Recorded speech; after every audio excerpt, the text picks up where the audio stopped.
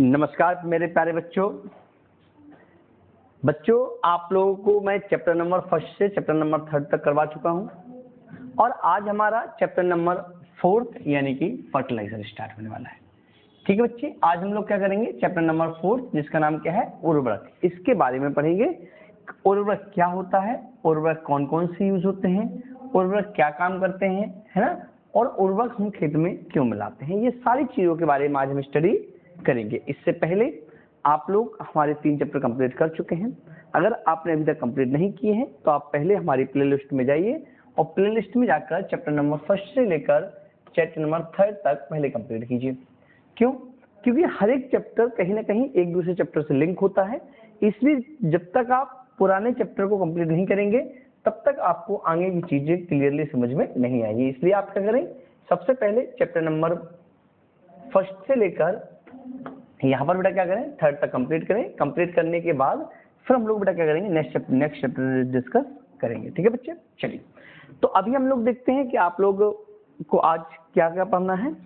तो सबसे पहले बेटा अगर बात करें तो यहाँ पर क्वेश्चन आता है कि फर्टिलाइज़र यानी कि उर्वरक की परिभाषा क्या है?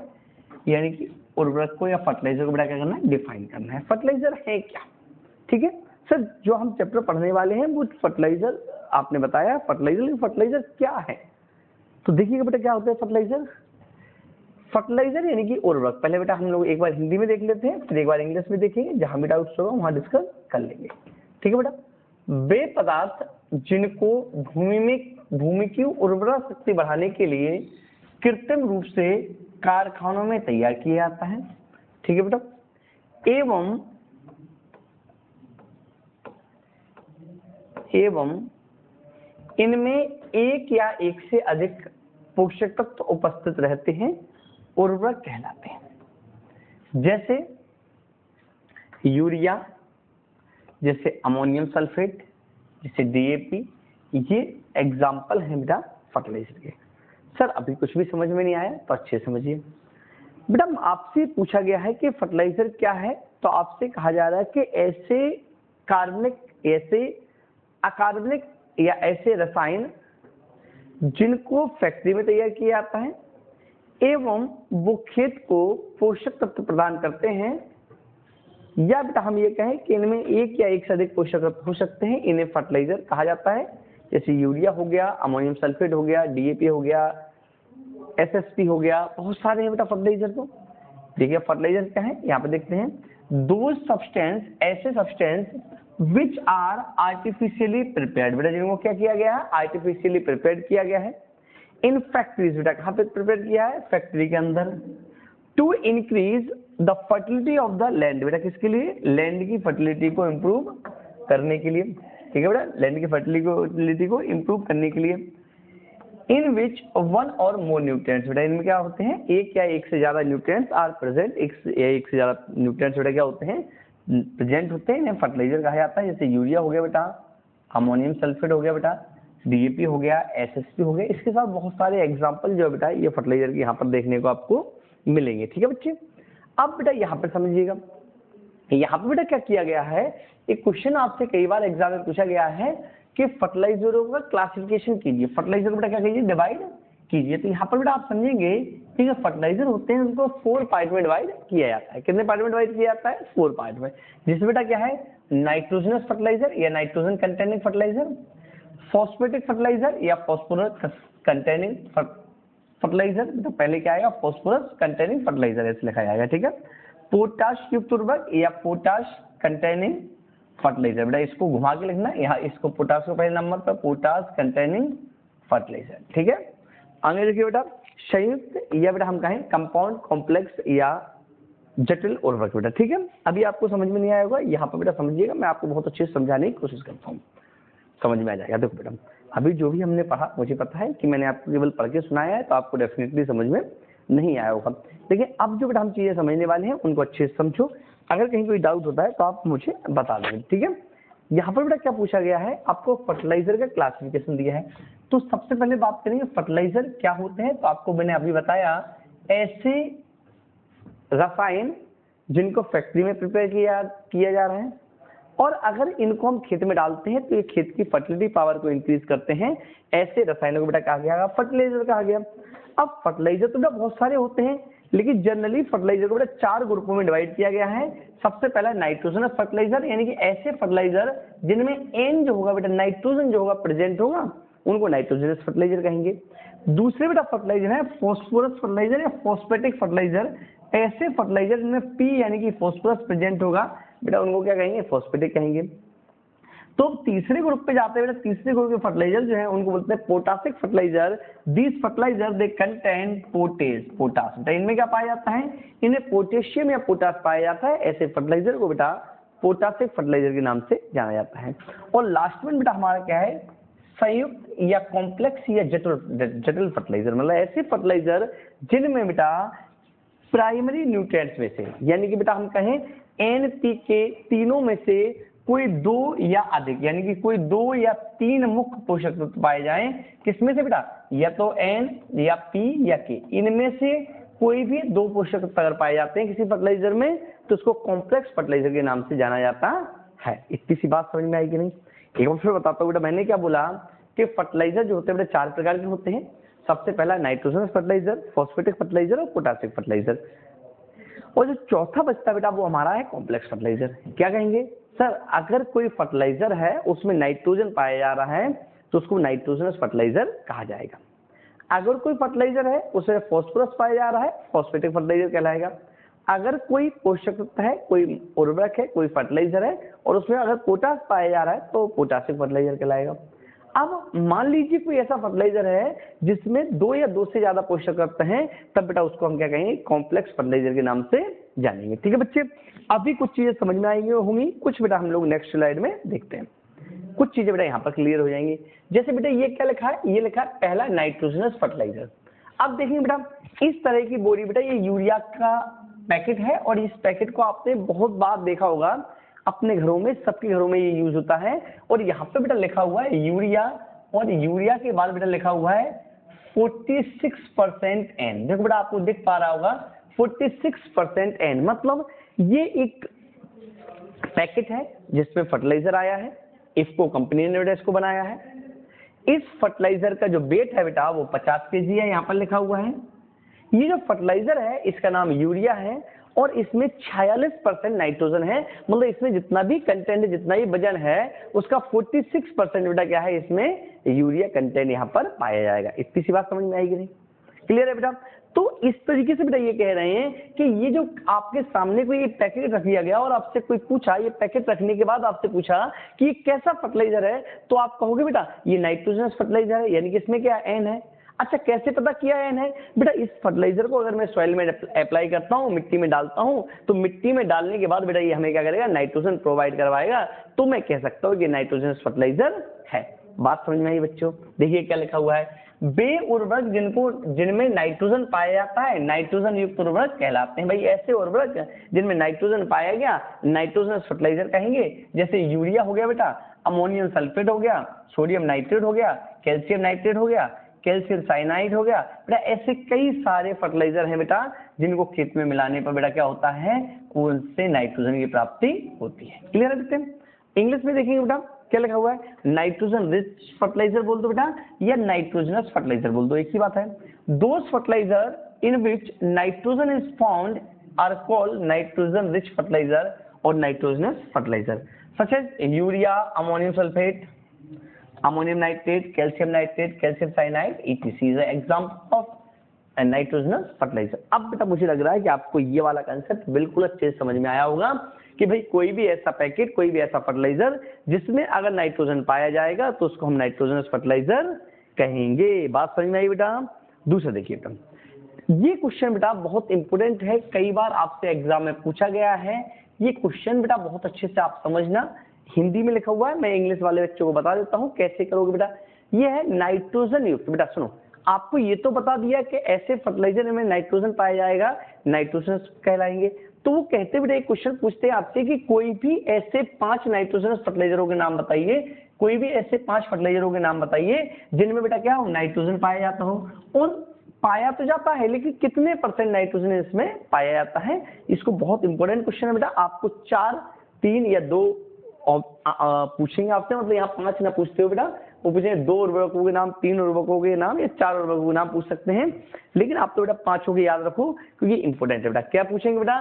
Give any five nitrogen fertiliser and its content percentage बात समझ आई बेटा? कि आपको किन्हीं फाइव नाइट्रोजन फर्टिलाइज़र के नाम देने हैं और उनमें पाई जाने वाली नाइट्रोजन की परसेंटेज मात्रा को यहाँ पर शो करना है। ठीक है बेटा? तो देखेंगे हम लोग फर्टिलाइज़र का नाम बेटा क्या है? सबसे पहले यूरिया, बहुत इंपॉर्टेंट फर्टिलाइज़र है। 46 परसेंट नाइट्रोजन है। इसको बेटा आपको याद रखना पड़ेगा, इसके बाद दूसरा कोई तरीका इसका नहीं है। ठीक है बेटा?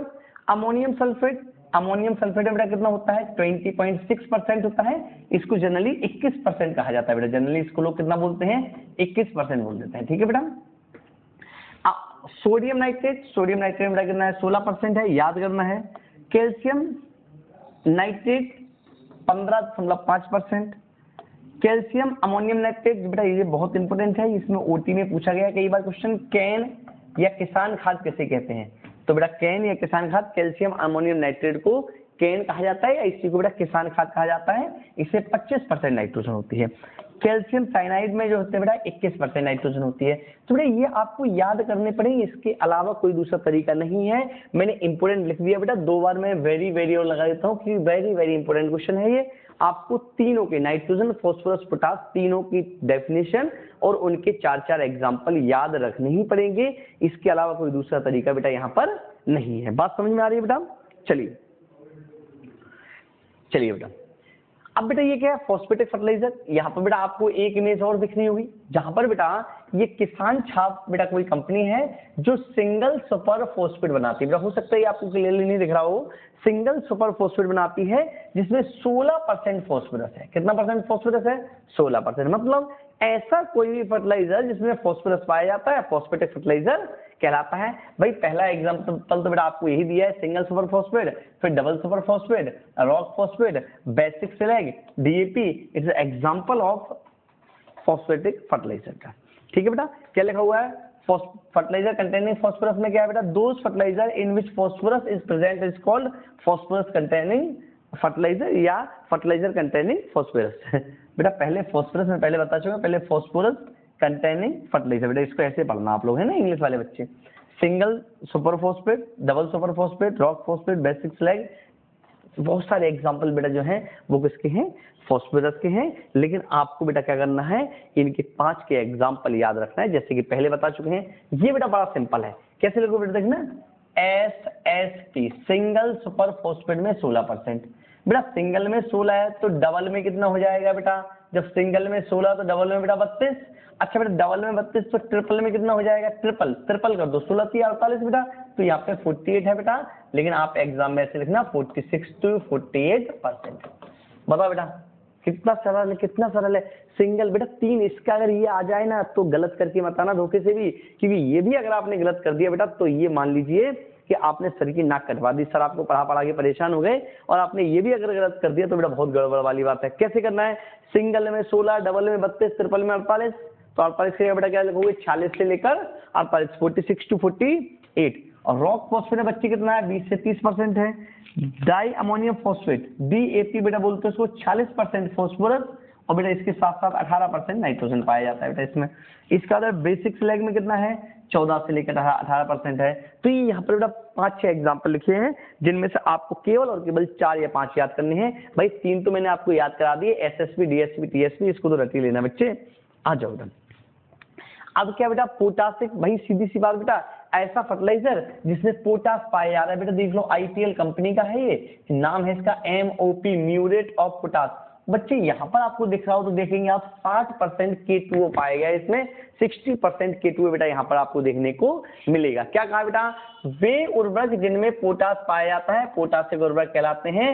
Those fertiliser they content potash is known as potassic fertiliser like as potassium chloride जिसको बेटा म्यूरेट ऑफ़ पोटास कहा जाता है। ये लिखा है M O P muriate of potash. इसके बाद देखेंगे potassium sulphate, potassium nitrate, potassium carbonate, लकड़ी की राख लकड़ी की राख बेटा क्या होगा? फर्टिलाइज़र में नहीं आएगी बेटा। ये क्या है? ये खाद है बेटा। ठीक है बच्चे? एस यहाँ पे लिखा हुआ वुड एच बेटा, ये क्या आएगा? फर्टिलाइज़र में नहीं आएगी। ये बेटा क्या है? एक तरह से खाद है। तो यहाँ पर बेटा क्या करेंगे? आप इसके चार एग्ज़ाम्पल याद रखेंगे। जैसे पोटेशियम क्लोराइड जैसे बेटा क्या है? एमओपी में साठ परसेंट है। उसका पोटेशियम सल्फेट में अड़तालीस से लेके बावन परसेंट अड़तालीस से बावन परसेंट सर, ऐसा कैसे?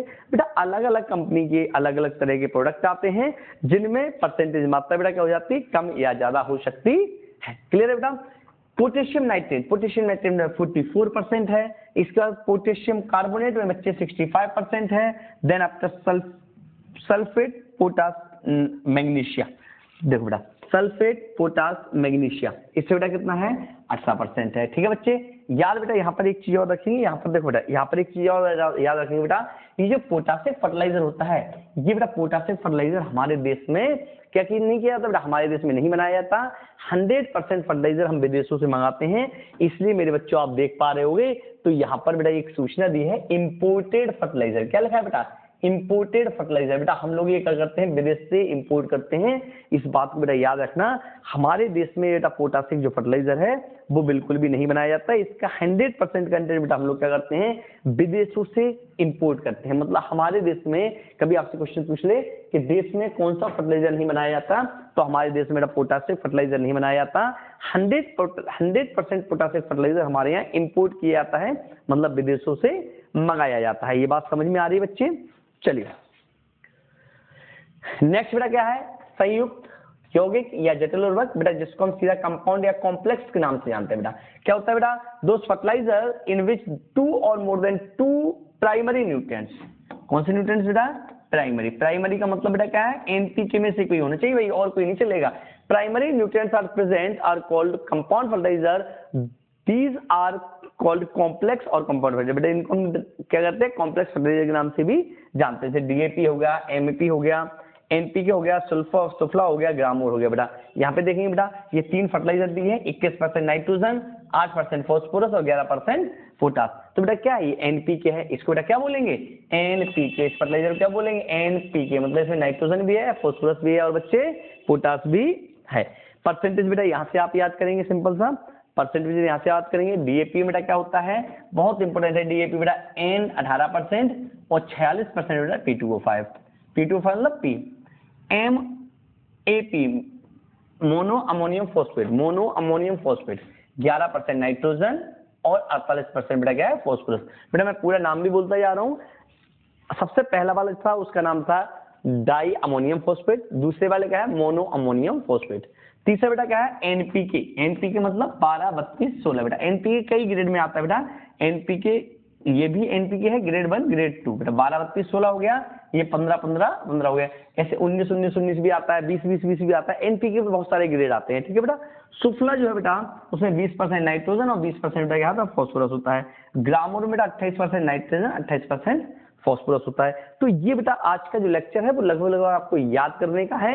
आपको बेटा करना क्या है? मैं आपको ऑलरेडी बता चुका हूँ नाइट्रोजन कंटेंट फर्टिलाइज़र इनकी परसेंटेज मात्रा है। बेटा, ये क्वेश्चन बहुत इंपॉर्टेंट है बेटा। नाइट्रोजन कंटेंट फर्टिलाइज़र की परिभाषा, इनकी परसेंटेज मात्रा परसेंटेज मात्रा तीनों की बहुत इंपॉर्टेंट है बच्चे, ठीक है?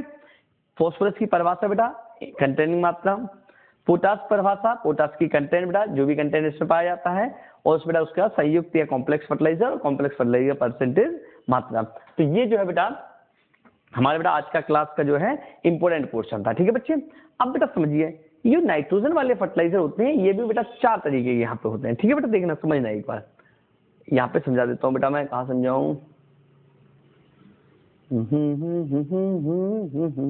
यहाँ पे समझा देता हूँ बेटा देखो एक बार समझो बेटा बेटा, आपको बताया था कि सर फर्टिलाइज़र जो होते हैं, वो चार प्रकार के होते हैं।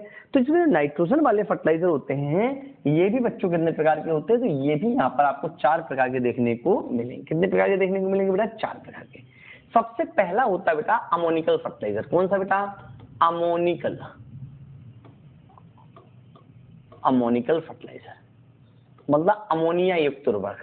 दूसरा होता है नाइट्रेट फर्टिलाइज़र बेटा। कौन से होते हैं? नाइट्रेट फर्टिलाइज़र ठीक है बेटा?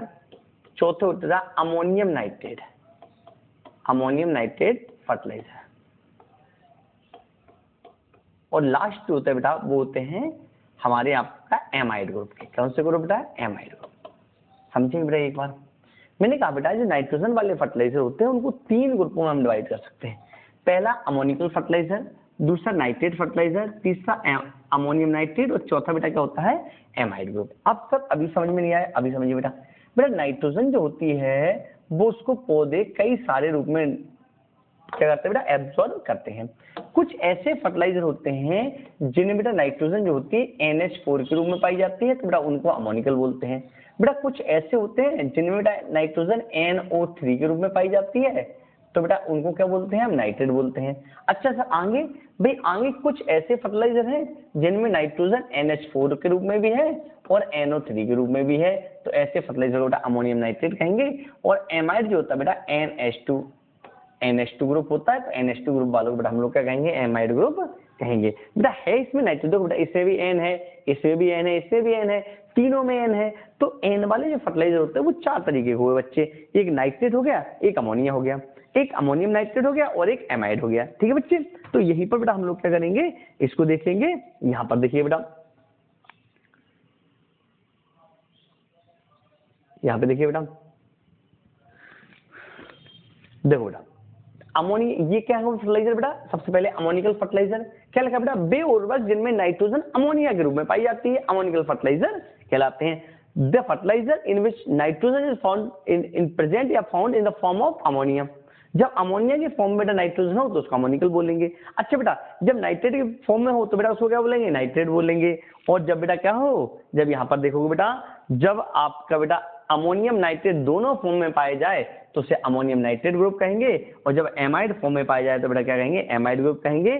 एमाइड ग्रुप का एग्ज़ाम्पल जो बेटा यूरिया बहुत इंपॉर्टेंट है, कई बार पूछा गया है। Urea is an example of amide fertiliser ठीक है बेटा? इतनी बात समझ में आई? तो ये बेटा हमारी आज की क्लास थी। यहाँ पर बेटा, अगर आपको यहाँ तक क्लास देखी है, क्लास अच्छी लगी है तो बेटा लाइक, शेयर ज़रूर करें।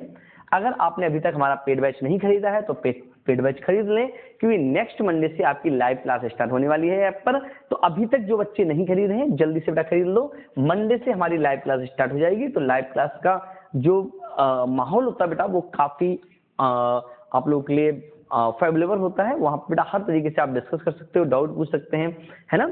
और भी नोट्स बहुत सारी चीज़ें जो है ऐप पर आपको बहुत सारा मटेरियल कंटेंट मिलने वाला है, जो यूट्यूब पर शायद ना मिल, नहीं मिल पाए। तो अगर आप बेटा कैपेबल हैं तो आप लाइव क्लास ज़रूर करेंगे। ठीक है बेटा? मिलते हैं नई क्लास में, तब तक के लिए टेक केयर बाय बाय